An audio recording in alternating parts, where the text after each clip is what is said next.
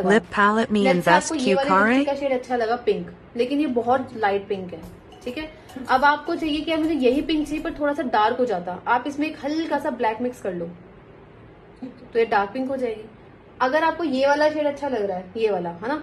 लेकिन ये बहुत डार्क है आपको इसका लाइट टिंट चाहिए। तो आप क्या करोगे? इसके अंदर अपना व्हाइट मिक्स कर लोगे तो ये लाइट हो जाएगा। तो इसलिए रादर देन आप एक लिपस्टिक्स में जैसे बहुत महँगी महँगी लिपस्टिक्स आती हैं दो दो हज़ार की उनसे अच्छा आप क्या करो? अभी पैलेट्स में इन्वेस्ट करो।